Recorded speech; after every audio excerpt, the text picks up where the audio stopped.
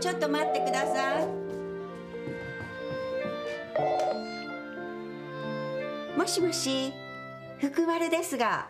もしもし私鷺山不動産の佐藤と申しますが福丸春さんでしょうか？はいそうです。福丸です。どうかしましたか？お住まいの山口地区に介護施設を建設しています。70歳以上の高齢者を対象に入居する権利があります。福丸様には入居する権利があるのですが入られませんか？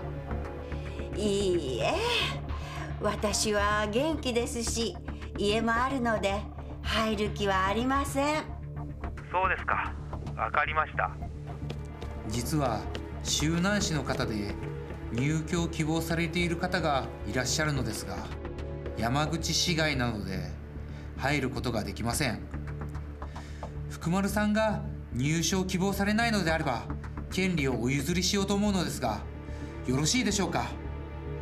福丸様には名前を貸していただくだけで結構です。もちろんご迷惑はおかけしません。はいいいですよ。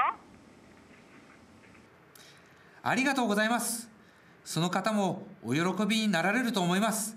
大変ありがとうございましたはい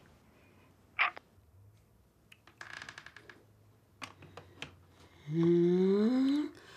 そんなことができるのね。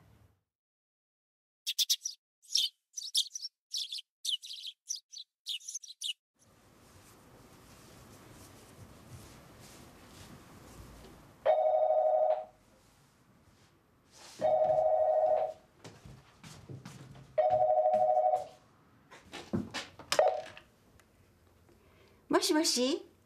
福丸ですが。もしもし、私、嘘田弁護士事務所の田中と申しますが、福丸春様でしょうか？はい。どうかしましたか？先日、介護施設の入居について、周南市のお住まいの方に名義を課されませんでしたか？はい。あの名前までは聞いてないんですけど施設に入りたがってる方がおられるとお聞きしましたので実は、それは名義貸しといって犯罪行為になります。このままではあなたは逮捕されることになります。えあの私ですね。私は人助けになるならと思って名前を貸しただけで決して悪気があったわけではないんですけど。事情はわかりますが犯罪行為には変わりがありません。500万円の保釈保証金を支払えばどうにか逮捕されないように私の方で交渉を行います。本日中にご用意して宅配便ですぐに送ってください。それと警察に相談すると逮捕されますのでご家族等にも話さないでください。はいわかりました。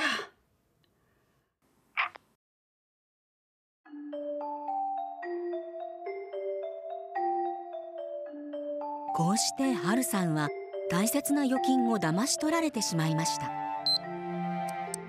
春さんはどうすれば被害を防ぐことができたのでしょうか。引き続きこちらをご覧ください。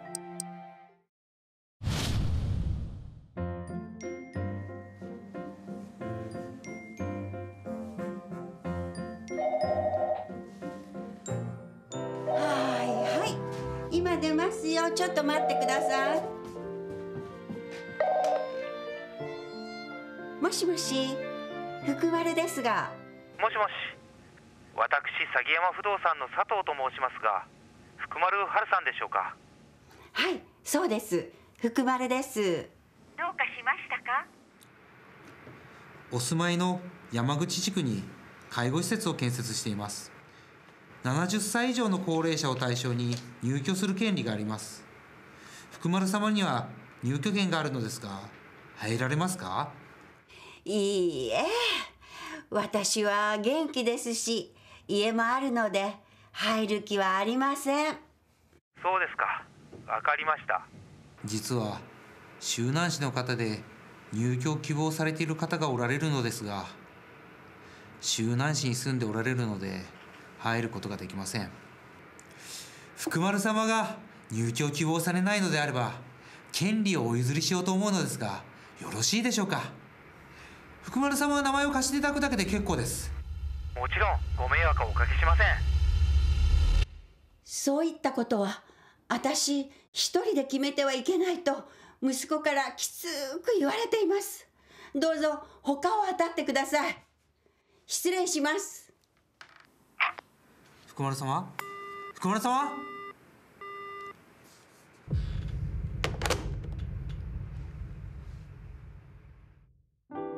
春さん騙されずに助かってよかったですね。嘘電話はいつ皆さんのお宅にかかってくるか分かりません。